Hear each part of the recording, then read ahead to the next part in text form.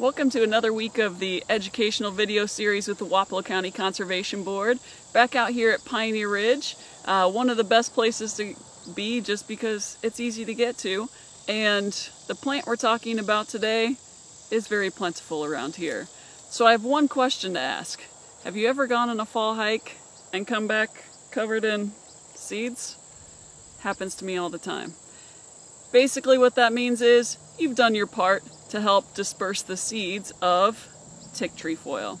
Uh, tick trefoil is also called um, beggar's lice, probably because lice, ticks, they tend to stick to you and uh, take your blood, but the seeds won't take your blood. Uh, but they do stick very well to the fur and clothing of passing animals. And yes, I say clothing because humans are animals. Seems to be uh, up for debate for some people. But uh, when you get these seeds stuck to you, what you're going to do, just like other animals, is when you get to a place where you're going to rest or you're done hiking, you're going to take these seeds off, you're going to drop them on the ground.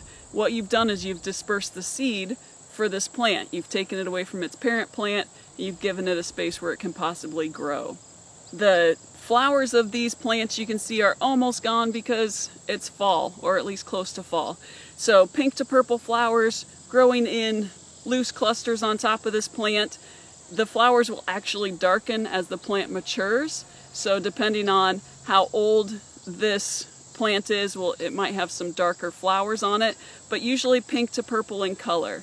And as these uh, flowers start to die off, you'll see that the seeds are actually growing there and getting stuck to myself and anything that passes through while there's no known use for humans of this plant, there are a lot of animals that make use of it. It's the host plant of the silver spotted skipper butterfly, uh, eastern-tailed blue butterfly, and the nectar of these flowers is very attractive to long-tongued bees. So we're talking bumblebees, a lot of native bees, as well as flies and things like that. As far as the leaves are concerned, deer, rabbits, uh, Japanese beetles and other leaf beetles will eat this plant. So there's a lot of things that this plant does to help uh, the natural world.